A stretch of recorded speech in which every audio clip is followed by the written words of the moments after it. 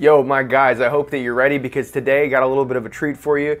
Acne, blackheads, pimples, clogged pores, whatever it is, is a thing of the past. I'm gonna tell you exactly what you need to do to get rid of it, the top four ways to do so. In fact, you've probably heard different types of methods from other kind of content creators out there, and they all get it wrong. They try to push some sort of a sponsored product and things that aren't gonna be effective. These are the ways that you're gonna be able to handle your acne and get good results. I'm Angel. I'm a cosmetic chemist specifically focused on men's care products. Let's get right into it.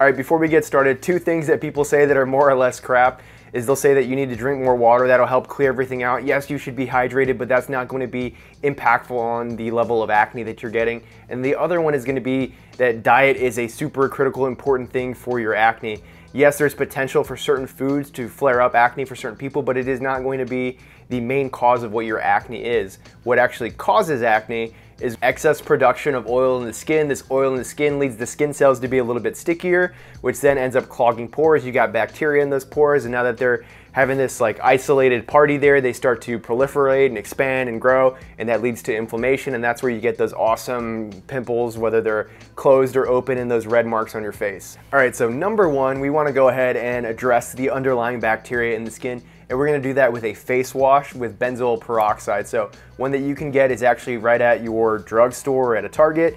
It's called Panoxyl, and this one has 10%. But basically you are gonna wash your face with this and you'll leave it on for about three to five minutes. Really let it like work its magic, get in there, clean out the pores, clear out some of that bacteria. A few notes when using this is if uh, you're using a very potent one, like 10%, it can be a little bit drying. So if that is causing any irritation for you, you could try lowering to something with a little bit less of a percentage. Another thing to note is I wouldn't so much get a leave-on product with benzoyl peroxide because it's really easy to get that on like your clothes, on towels, and it ends up bleaching your towels. So the, the wash-on product is definitely the route that you wanna go. So option number two is gonna be what's called salicylic acid. So this is a exfoliator and it's gonna go in and has antibacterial properties. It's gonna clean out the pores. It's very, very good if you get like those little blackheads on your nose or on your forehead or somewhere else. It's really, really good at cleaning those out. With this clears the dead pores, gets rid of a lot of the dead skin cells that could be blocking your pores. You can get it in a few different forms. So you've probably seen like Stridex pads. That's a good way to use it. Uh, you can get it in a wash form. So CeraVe does this one that you can use. And again, you'll want to leave it on for about two to three minutes so that it can really get in and work its magic. Salicylic acid is a little bit more like better at absorbing into oil. So it'll work on your skin a little bit faster than benzoyl will in terms of how long you need to leave it on. So leave it on for a good three minutes or so. Uh, another one that I, I love that recently, I had a explosion on my forehead recently. I had um, like a, sunscreen that really broke me out and it was like a, a war field that happened. I used this right here. So it's Naturium's Leave-On like salicylic acid moisturizer.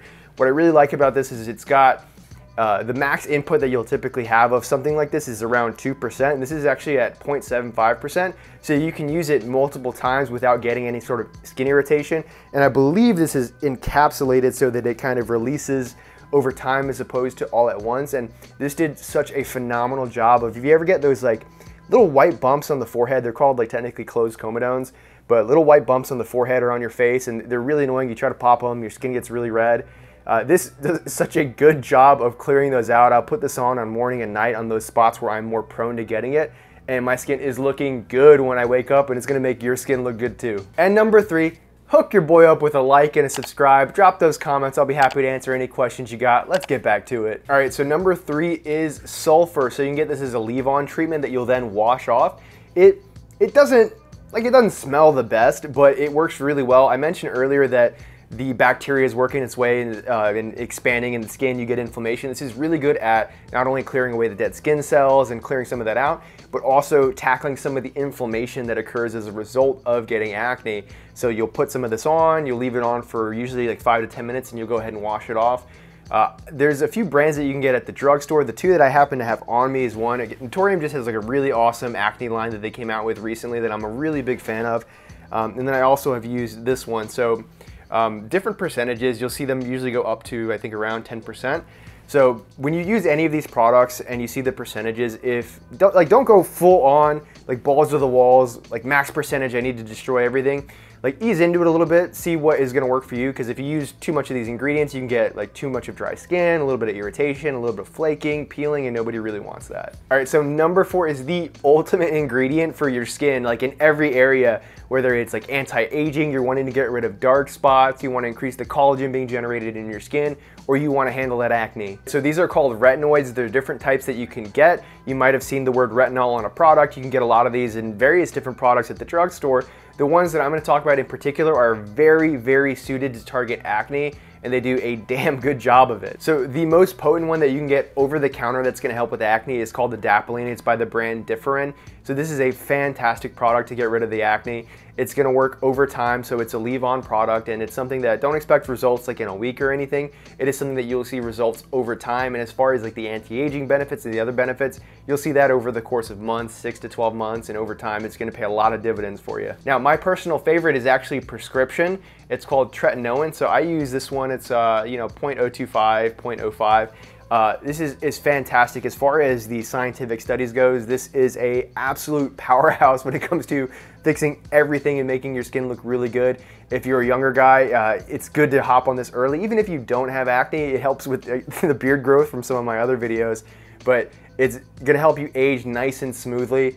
Uh, something to be aware of when you use any kind of retinoid, whether it's adapalene or tretinoin, is because it is increasing the turnover rate of your skin cells, you have less dead skin cells on the top of your skin, so your skin's gonna look a lot better.